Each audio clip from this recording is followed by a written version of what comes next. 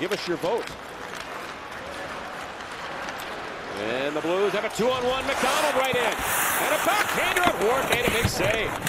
There's the Blues right off a face-off at a two-on-one. Here's a pass ahead by Polak intended for Kariya. Off the glass, kept in by Boyes. Right on goal. And a save by Ward. Now Tkachuk for Kariya. Five to go in the power play. Here's Staal back for Seidenberg. And a wrist shot. Now in front. Glove saved by Mason. As a shot finally came through and Mason got the glove up.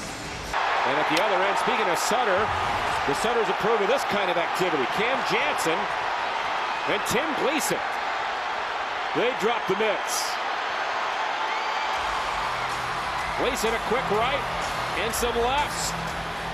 Janssen fighting back with about three or four rights. And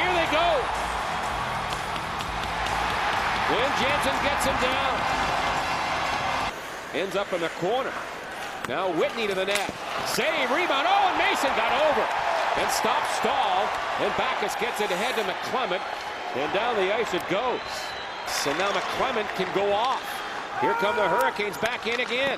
Samsonov, a shot and a save by Mason who's been a stonewall in goal tonight for St. Louis. Back for McKee. He can't work it low. And Brind'Amour away for the Canes. He is dumped by McKee with a good hit. Here's Corvo a drive. He whipped that wide in 22 to 9 for the game for the visitors. Stempniak Ed and McDonald has a break. In the clear, McDonald to the net. And a save by Ward as McDonald had a partial break. He and Corvo the point man. Corvo with it for Seidenberg. In on the wing for Staal. That shot, and they score! Went through the legs of Mason. And it's 1-0. Now McDonald again. Fires it back in 12 seconds to go here. Ward plays it around. And that goes all the way down off a Blues player, and this is going to just about do it.